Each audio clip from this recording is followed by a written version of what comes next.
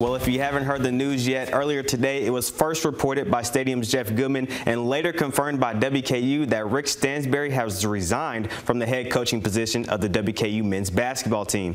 Since Stansbury took over the helm in 2017, he led the Hilltoppers to four 20-win seasons and three Conference USA tournament title game appearances during his tenure, but failed to make the NCAA tournament. The Tops lost to Marshall in 2018, Old Dominion in 2019, and North Texas in the 2021 in the championship game, unable to make the big dance.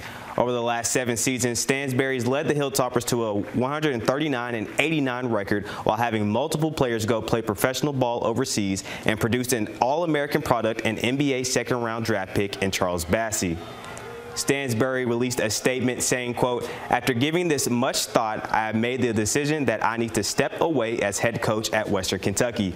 This past season has been a challenging one, and I need some time to step away from things and focus on my health and my family. This is a very difficult decision, but the right one. And with the news of Stansbury's re resignation, WKU Athletic Director Todd Stewart spoke to the media today and talked about how thankful he is for Stansbury's tenure on the Hill.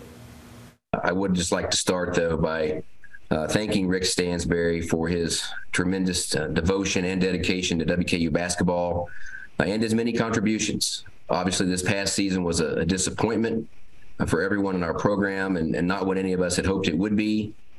But from the moment he landed in Bowling Green on uh, March 27th, 2016, Rick gave everything he had to this program. He was a tireless recruiter and a terrific ambassador for our program. And while we didn't reach our highest goals, there were a lot of many notable accomplishments during his tenure.